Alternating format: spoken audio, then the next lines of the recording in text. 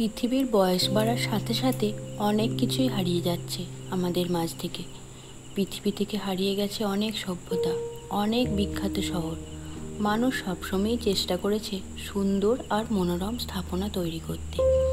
কিন্তু প্রাকৃতিক কোনো দুর্যোগ মাঝে মাঝে মাটির ওপরে স্থাপনাগুলোকে টেনে নিয়ে গেছে মাটির নিচে।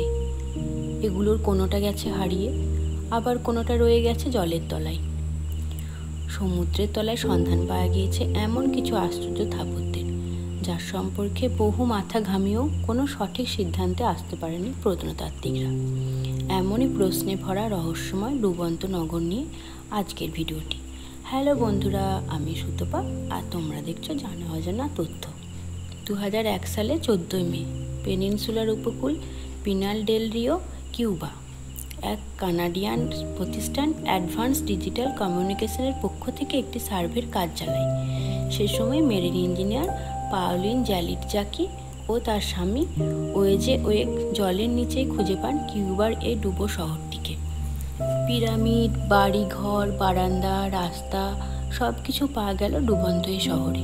জলের গভীরতা নির্ণয় করে জানা গেল, আজ থেকে পঞ্চাশ হাজার বছর আগে নির্মিত হয়েছিল শহরটি। আট দশটা শহরের মতোই বিকশিত হচ্ছিল। মজার ব্যাপার হলো, এত বছর আগে এমন প্রযুক্তি বা নির্মাণে উন্নত কোনো মানুষ ছিল কি না তাহলে কীভাবে জন্ম নিল এমন শহর? আর শেষ পর্যন্ত কেনই বা জলের তলায় ডুবে গেল এই শহরটি? উত্তর যে যার মতো করে সাজিয়ে নিয়েছে। কেউ বলে ভিনগ্রহবাসীদের কাণ্ড, কেউ আবার বলে প্রাকৃতিক কোনো দুর্যোগের ফল। পৃথিবীতে সবচেয়ে প্রাচীন ডুবন্ত শহর হিসেবে ধরা হয় পাবলো পেত্রিকে। উনিশশো সাতষট্টি সালে গ্রিসের পেলোফনেসিয়ায় অবস্থিত দক্ষিণ ল্যাকোনেসিয়ায় খুঁজে পাওয়া যায় পাবলো পেত্রি নগরটিকে। ব্রোঞ্জ যুগে এই শহরে জন্ম হয়েছিল বলে ধারণা করা হয়। পুরো শহরের আয়তন তিন লাখ বাইশ হাজার নশো সতেরো বর্গ মাইল। ঘর, বাড়ি, উপাসনালয়, রাস্তা সব আছে এই শহরটিতে। এমনকি যে অংশটুকু ভেঙে পড়েছে বা ক্ষয়ে গেছে, সেটার নকশাটুকুও ঠিকঠাক আছে শহরের ভেতরে। কৃষি, কাপড় বোনা, ব্যবসার মতো ব্যাপারগুলি তৈরি করে নিতে পেরেছিল শহরবাসীরা, এমনটাই মনে করেন বিশেষজ্ঞরা। ইচ্ছা করলে নৌকা নিয়ে একবার দেখে আসতে পারো এই ডুবন্ত শহরটিকে। প্রাচীন সব ডুবন্ত শহরের তালিকায় নাম আছে ক্যাম্বের ডুবন্ত শহরেরও। দু সালে খুঁজে পাওয়া যায় এই শহরটিকে।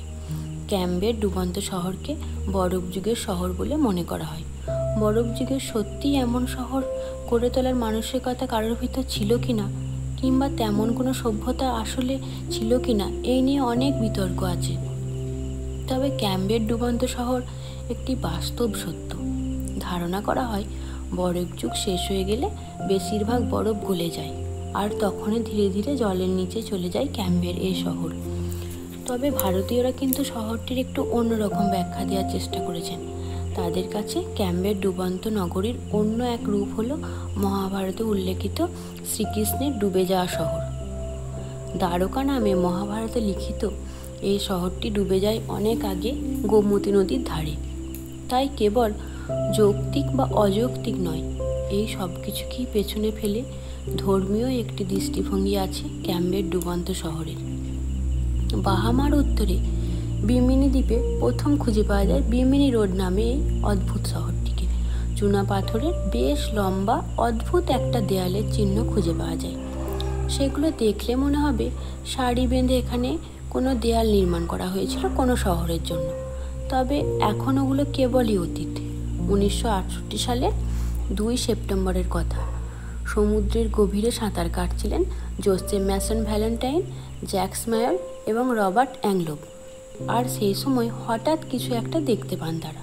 সমতল এবড়ো চারকোনা, গোলাকার, অর্ধচতুষ্কোণ, প্রায় সব রকম অদ্ভুত আকৃতির পাথর পাওয়া যায় এই বিমিনি রোডে।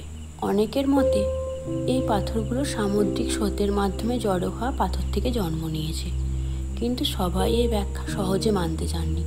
ফলে এখনও অবধি বিমনি রোডকে মানুষের কোনো একটা সভ্যতার নিদর্শন বলেই মেনে আসছে সবাই। ডুবন্ত শহরের মধ্যে অন্যতম ইয়ানাগুনি মনুমেন্ট।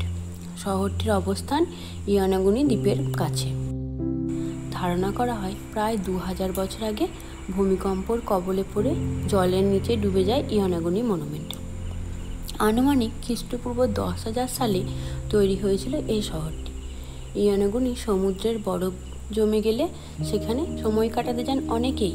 প্রফেসর কিহাচিরো আরাটাকেও গিয়েছিলেন একই উদ্দেশ্যে, আর সেখানেই তার চোখে পড়ে অন্য রকমের শহর।